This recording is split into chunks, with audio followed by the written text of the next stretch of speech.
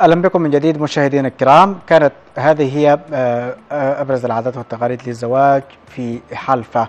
هذه آه، العادات والتقاليد مميزة وتمتاز عن كثير جدا من من شعوب مميزة جدا. وهذا هو السودان في هذا الاختلاف وهذا التنوع ال- الجميل في عاداته وتقاليده التي دائما ما أقول عنها إنها سودانية وسمحة جدا في آه، بساطتها وأناقتها وسمح خصالها وتكاتفها. إذا نمضي ونتواصل. سعداء جدا أو أسعد جدا أنه ينضم إلي عبر خط آه، الهاتف من ولاية النيل الأزرق. الزميل آه، عامر عمر عبد الله. لكن قبل ذلك آه، ستنضم إلي عبر خط آه، الهاتف أيضا. آه، الاستاذه لبنى علي عبد الرحمن رئيس منظمة بيت مكلي آه، القومية أستاذة لبنى. أهلا بك صباح الخير. أهلا بكم وصباح الخير وأنا سعيدة بتواصلنا معاكم. لولا الظروف حقت البلد لكنا معكم في ال- إيش اشمل في ال- في الاستوديو ونرحب بك في صباح الشروق عبر أي وقت. إن شاء الله آه، سنكون معك الآن عبر خط آه، الهاتف لنناقش كثير جدا من المحاور المهمة. لكن نشاهد معك ومع مشاهدينا الأعزاء تقرير التالي ونعود لنواصل معك.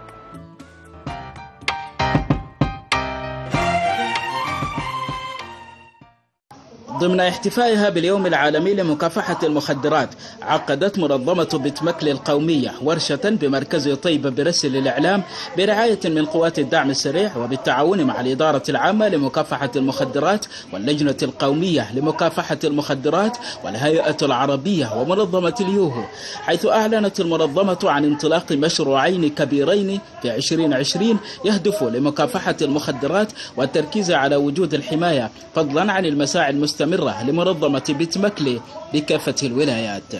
نسبة ازدياد المخدرات أصبحت بالنسبة لنا في حالة خطر ولاية الخرطوم أنا بعد الكلام ده متحملة نتيجته ليه؟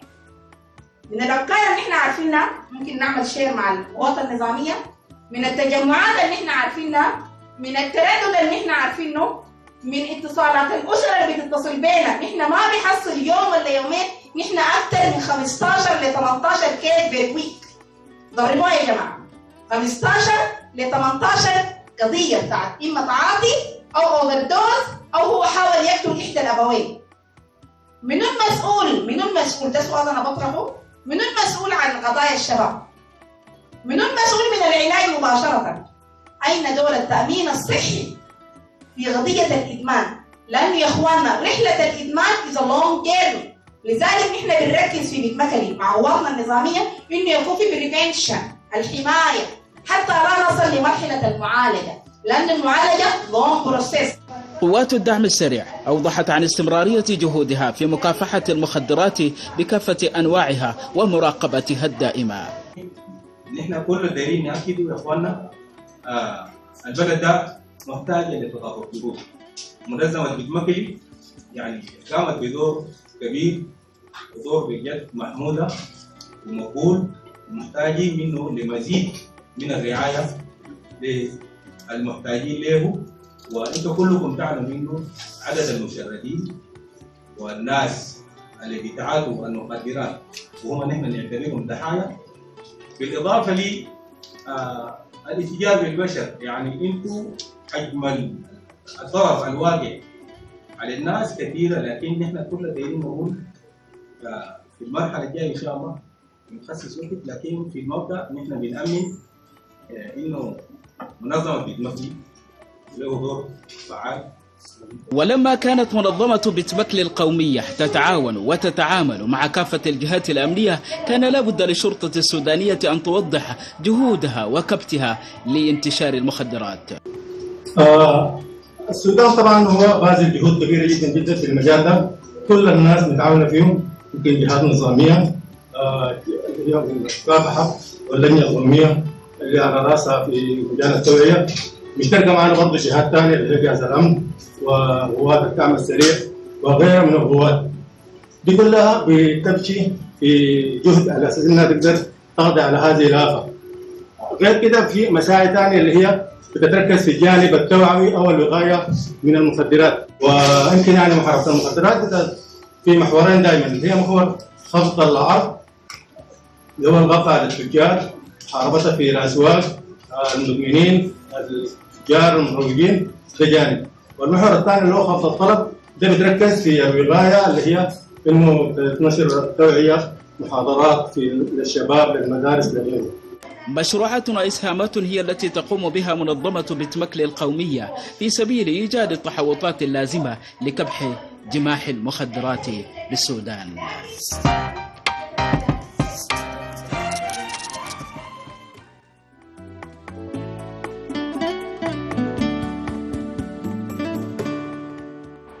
بعد هذا التقرير واحتفاء مربط مكلي القومية باليوم العالمي لمكافحة المخدرات وعدد من الإضاءات والشراكات ال- المتميزة. رحب مجددا عبر خط الهاتف بالمستشارة والدكتورة لبنى علي عبد الرحمن. أهلا بك من جديد. وإضاءة عن هذه الاحتفائية واليوم العالمي لمكافحة المخدرات. أهلا بكم ونسأل ربنا سبحانه وتعالى يرفع البلاء كورونا ويحفظ شباب امتنا السودانية وكل القائمين على أمر مكافحة المخدرات لأنه طاعون العصر. المنظمه كل سنة بتعمل اليوم العالمي لنشاط حق عام كامل استعراض للرشاقة. ونرحب بشراكاتنا الجديدة آه، قوات الدعم السريع ال- الشرطة مكافحة إدارة المخدرات اللجنة القوميه لمكافحة المخدرات. آه، ديل هم مهمتنا الأساسية وجهاز الأمن والمخابرات مكافحة انتشار المخدرات. ونحن كمنظمة مجتمع مدني مهمتنا الأساسية التوعية والإرشاد. جاء العمل متكاملا خلال إنجاز عام كامل. والآن نستعرض الخطة الجديدة لعام 2021 نعم. في بيت مكلي اولينا اهتمامنا بحصر ودراسة في الشباب. نسبة التعاطي وسط الشباب وأنواع المخدرات حتى تتم وضع خطة استراتيجية ترفع لمكتب الأمم المتحدة في فيينا في معالجة الإدمان داخل دولة السودان.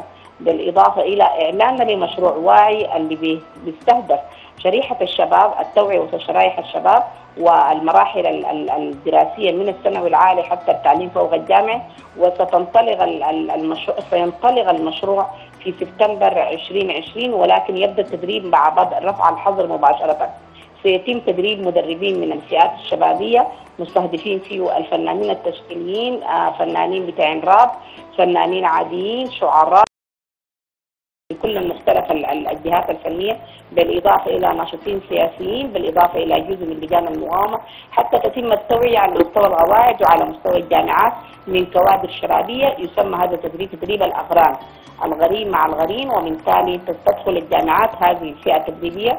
ومع بدء العام الدراسي سيتم تدريب ال- الجهات التعليمية كمثلا إدارة الطلاب الشؤون الطلابية ال- المعلمين الماسكين التسجيل عشان نحن حنعلن بعديها طوالي مع الشرطة آه، آه، إعلان الفحص لكشف المخدرات لطلاب ال- الطب الصيدلة الكليات العلمية. بالإضافة إلى كليات علم الاجتماع بالإضافة إلى آه، نطالب بإنه تكون ال- الكشف للمخدرات داخل القوات النظامية كذلك. بالإضافة إلى مش إعلان مشروعنا الدفار التوعوي وهو مشروع آه، زي آه، اللي كان عندكم في الشروق اللي كان بيقدم محمد موسى دفار عربية بتكون فيها مسرح متجول شاشة مسابقات لكن في شكل توعية ومعها عيادة لمعالجة الإدمان واستشارات نفسية. سينطلق إن شاء الله هذا المشروع بعد رفع الحظر مباشرة بالإضافة إلى الماراثون الرياضي وهو حيكون برعاية كريمة من آه، وزاره الشباب والرياضة ولايه الخرطوم بالإضافة إلى آه، جهات خيرية مختلفة وشركات بالإضافة إلى آه، الراعي الأساسي حيكون جهاز قوات الدعم السريع بإذن الله تعالى. نعم ال- المنظومة بتاعت بتمكن تشتغل في عمل دراسات وبحوث لأنه من غير دراسة ما حنقدر نقدم خطة ما حنقدر نرفع تصور لأي مشروع. أنا بناشد القوات آه، يعني الجهات الإعلامية وخاصة قناه الشروق والقنوات الأخرى إنه يكثفوا يكثفوا الإعلام يكثفوا ما نكون نحتفل باليوم العالمي. يعني يمكن بتمكن في خلال اليوم العالمي قدمت أربع منصات عالمية. كانت منصة لمده يومين في الدنمارك شاركت المنظمه ب- بمشروعاتها المختلفة في المكافحه والتوعية بالإضافة إلى الأمارات بالإضافة إلى المغرب عبر الائتلاف المغربي وكلها جمعيات متخصصة. إذا أصبحنا من من منظمة تعمل داخل السودان إلى خارج السودان وفي الأصل هي بدأت من كندا ثم تسودنت داخل السودان. آه المطلوب منا نحن كناشطين وكأسر الرسالة اللي حابه أقولها يا إخواننا المخدرات قريبة جدا من شبابنا وقريبة جدا من أسرنا. طول ما في فراغ طول ما في آه يعني عطالة طول ما في فقر المخدرات قريبة مننا. لذلك رسالتنا اللي حابين نوجهها للأسر كونوا قريبين من أولادكم. التربية التربية التربية أكررها ثلاث مرات لأنه إذا أحسنتم التربية لأولادكم منذ النشاه ليس عندما يبلغون سن المراهقة. ولكن منذ نعومة الأظافر دي بتحفظ أولادنا من براسم دخولهم في المخدرات. نعم. الإسترس الضغط النفسي زيادة المشاكل الأسرية والطلاقات دي كلها أسباب بتؤدي لدخول الشباب في المخدرات. أخيرا وليس اخرا دور الإعلام مهم. نحن نعول عليكم كثير ونتمنى تسمح لنا القنوات ال- الداخلية والإذاعات بمساحات حتى تتم الاستشارات. لأنه نحن يوميا الآن عبر الواتساب في اليوم من خلال الاستشارات اللي بتجينا بين خمسة لعشر استشارات بالإضافة إلى ستيل عندنا حاجة اسمها الوصمة الاجتماعية. نحن خايفين ما قادرين نصالح أولادنا أو نحترف انه أولادنا دول مدمنين. محتاجين لكم كإعلام عشان تساعدونا في إزالة الوصمة الاجتماعية بإنه المدمن هو مريض. أي شاب بيتعاطى المخدرات هو مريض. هو مريض نعم، ليس- دكتورة. ليس عليه عيب ولا أي شيء. نعم دكتورة دائما المساحات متاحة لكم عبر الصباح آه، الشروق. لكن نريد الآن التحدث عن هذا التعاون اللي أنت آه، ابتدأت حديثك بالتحايا له مع مع الجهات ال- الأمنية. هذه الشراكة كيف تقرأين هذه الشراكة دكتورة؟ آه اولا هم بيدونا ال data. يعني إحنا ما عارفين ال data. يعني مثلا مثلا الإدارة العامة لمكافحة المخدرات بتورينا الأنواع دخلت شنو. آه قوات الدعم السريع برضه بتكافح الغطيات بتورينا الأنواع دخلت شنو لأنه ما كل الأنواع اللي إحنا عندنا لها data السودان ما عنده ما عنده قاعدة بيانات. نحن إذا عرفنا الأنواع دخلت حنضع الخطة العلاجية. يعني أنا تفاجأت قبل أسبوع أو 10 أيام جاني ديشن بياخذ كريستال بياخذ هيروين أنا ما كنت متخيلة في هيروين في السودان كزولة معالجة. مع العلم أنا خبرتي من برا والناس ال team اللي معي كله خبراء متخصصين. ال- الهيروين علاجه مختلف عن الكوكايين ال- ال- الكريستال علاجه مختلف عن الهيروين البانجو علاجه علاجه مختلف عن الهيروين. يعني كل نوع من من الأنواع المخدرات له طريقة علاج وفي سحب السموم تختلف عن النوع الثاني. تمام؟ آه هم دورهم يكافحوا وهم دورهم يورونا الإحصائيات هم دورهم يورونا الأنواع المتواجدة الآن في السوق ونحن دورنا كمعالجين وكناس شغالين في التوعية نخ- نخط الخطة العلاجية الخطة بتاعت التوعية شكلها كيف؟ وكذلك نحن ما بنعرف الحتات الممكن يعني يا يا منطقة في ولاية الخرطوم الأكثر انتشارا يا منطقة خلاص؟ نحن تجينا معلومة لكن نحن ما الجهة الأمنية اللي بت- بتضبط وت- وتحدد وكده. نحن بنعرف مثلا مثلا مثلا إذا في وسط أمدرمان في في حتة معينة X Y Z وسط أمدرمان دي فيها هم يدونا التقرير نحن نمشي نعمل محاضرات هناك. ده دورهم هم كقوات نظاميه، الآن الشراكة بقت مفتوحة والخطط تعرض معانا ونجلس في طاولة واحدة معاهم للتفاكر في الخطة العلاجية حتى. نعم وفي آه، النهاية زمان في النهاية الهدف واحد والهدف مشترك بينكم وبينهم والمسؤولية تهم ال- الجميع. والمواطن. المتضرر هو المستفيد آه، نختتم. بوجودكم وجهودكم أيضا وتفاعلكم مع المجتمع الدولي بصورة عامة المنظمات الدولية والإقليمية وآلية العمل المشترك فيما بينكم طيب آه، أول حاجة لأول مرة نقدر نرتبط بفيينا اللي هو المكتب الأمم المتحدة لمكافحة الجريمة والاتجار بالبشر والمخدرات. آه، تواصل معنا مكتب فيينا وجانا في المكتب وعملوا دراسات عبرنا.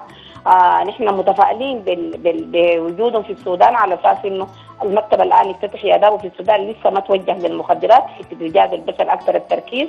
حيكون عندنا بحث كبير بعمل نعم. الدراسات منتظرين مننا هم الاحصاء عشان يحصل العمل ده. بالإضافة لشراكتنا في الائتلاف المغربي الهلال الأخضر منظمة الويهو في تركيا جمعية الإماراتيين أنا رئيس الهيئة العربية لمكافحة المخدرات. كلها خطط وضعناها خطط إقليمية في محيط الدول العربية والدول الأفريقية. خطة حتكون مشتركة بيناتنا. في التوعية والإرشاد والمعالجة. لأنه نقول نحن مكافحة. نعم. ده دورنا العالمي. الحمد لله الآن السودان المشروع اللي نفذته بتمكلي مشروع توعية وإرشاد ودمج المشردين لغى حظ كبير جدا والآن ستتبنى مشروعنا كل من المملكة المغربية آه، جمهورية مصر العربية نعم. آه، لبنان آه، بالإضافة إلى فلسطين تبنوا مشروع ال- المشردين. ومطالبين إن إحنا كبتمكن ننفذ نفس المشروع في دولهم. إن شاء الله حيسافر وفد قادمة عشان ننفذ المشروع معهم لأنه كان مشروع ناجح بمواصفاتهم هم أكيد. حسب التصوير التصور العالمي. شكرا نعم. جزيلا. شكرا جزيلا السيد المستشار الدكتورة لبنى علي عبد الرحمن رئيس منظمة بتمكلي القومية. أتمنى لكم آه، التوفيق في كل ما تقومون به من أعمال. في النهاية هي مسؤولية مشتركة لدى الجميع.